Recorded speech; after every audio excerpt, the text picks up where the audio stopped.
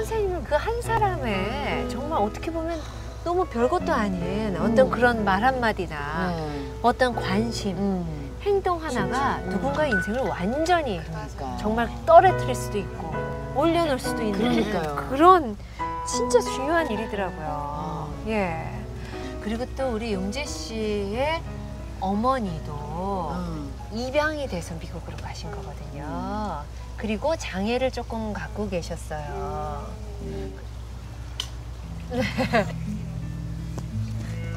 You're amazing. 네. I, you're amazing. 음. 네. You're grit. You have grit, 예. and you're a survivor. And I'm, I 예. deeply moved by your story, and I'm sorry that you had to spend your life suffering because others 예. couldn't see you for who you really are. Being the child of a woman that's handicapped, and I've struggled that with that my whole life. But you're grateful. You're grateful. 다행입니다.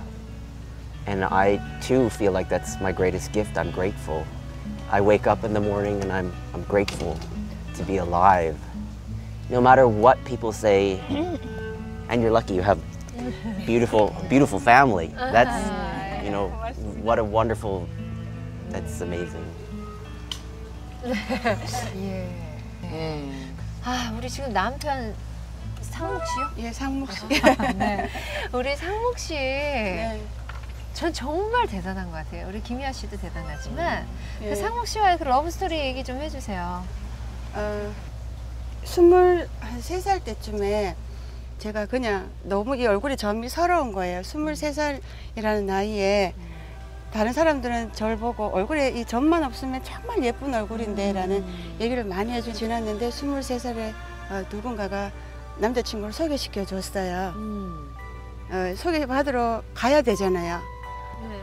화장하지 않고 그냥 나온다면 어떤 사람이 저의 마음이 아니라 겉모습을 보고 다음에 만나주세요라고 말을 할 수 있겠어요. 화장도 예의라고 하대요. 그래서 아, 제가 예. 화장을 하고 남자친구를 만나러 갔는데 그 남자친구가 그날 저한테 전화번호를 물어간 건 아니고 하루 이틀 지났는데 연락이 없더라고요. 음. 일주일이 다 돼도 연락 없길래 제가 삐삐 쳤어요.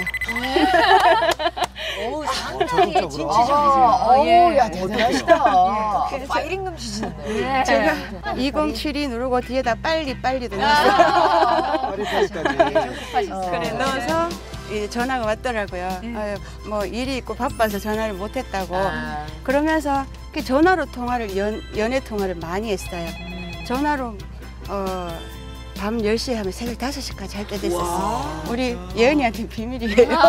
지금 저기서 다 듣고 있는데 왜 계속 비밀이라고 그러세요. 그랬는데 저는 늘 기도를 했어요.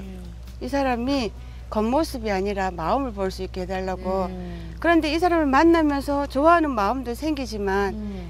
사랑하는 마음이 생기면서 미안하고 죄책감까지 같이 생기더라고요. 왜냐하면 아직 점을 숨긴 상태니까. 점을 숨기고 있는 상태고 음. 어, 또 제가 보육원에 있는 자란 사람이다라는 것도 말할 수가 없었어요. 예. 아. 이제 저의 모든 이런 것들을 알게 되고 나면 저는 또 두 번째로 버려진다라는 거.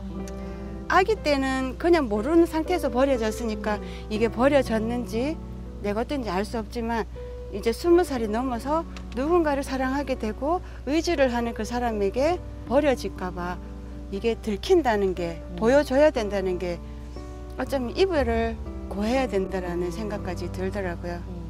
그런데 정말 만난 지딱 1년째 되는 날 제가 어, 오후 3시에 만나기로 했는데 12시에 일을 끝내놓고 제가 보육원에서 나오는데 제가 우유를 딱 한 잔 마시면서 갔어요. 우유를 마시려면 고개를 들어야 되잖아요. 네네네. 고개를 딱 우유를 마시는데 남자친구가 이 부분에서 차를 세워놓고 딱 내린 거예요. 어. 그 민낯으로 딱 부딪힌 거예요. 화장 안 화- 화장을 안 하고 no 있었어요? 메이크업 상태. 그때는 왜냐면 보육원에서는 애들이 보는 데서 화장을 할 수가 없더라고요. 아. 근데 정말 이건 드라마에서나 볼 수 있는 장면인 거예요. 그래서 딱 그 사람과 눈이 딱 마주쳤을 때 어, 어.